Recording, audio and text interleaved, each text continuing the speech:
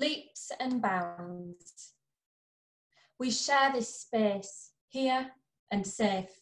She talks of knots and silence, her past creeping up on her, tying her down, taking her voice. She asks for little, a place where her demons aren't pressed up against her.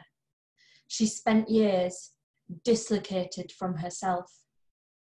Cruelty has pushed her till she's fixated on pills that numb, cigarettes searing skin, alcohol dulling the ache within, a blade to cut and any stillness the noose might bring. So we plan her escape.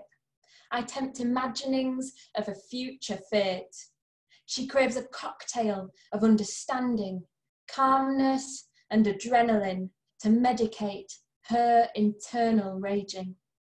Together, we take time to play. With trampolines, we bounce away the trauma into a single moment of okayness. She's more than just a survivor.